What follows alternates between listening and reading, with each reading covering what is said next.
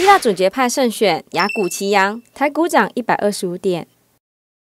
希腊大选有主张准结派的新民主党获胜，希腊退出欧元区的危机暂时解除，全球金融市场松了一口气。雅股昨天率先展开反弹，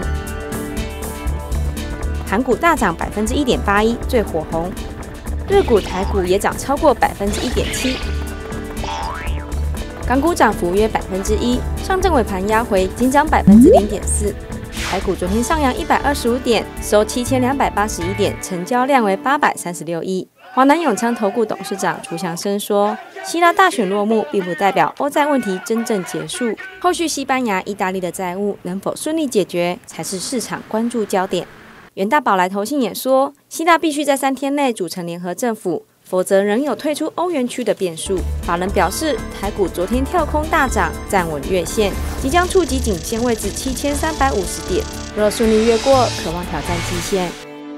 瑞信证券建议投资人布局可转向外资卖压轻、高值利率的个股，如华硕、台达电、细品、F 成新和永丰金五档。这一波的一个主流，包括像是高价股跟中概股，目前看起来这个涨势还没有结束。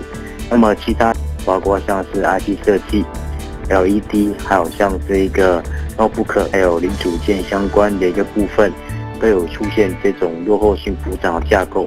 欧美股市昨天晚上开盘，并没有跟随雅股大涨，反而开高走低，涨跌互见。美股道琼也在平盘上下游走，截至今天凌晨一点，下跌三十多点。东新闻综合报道。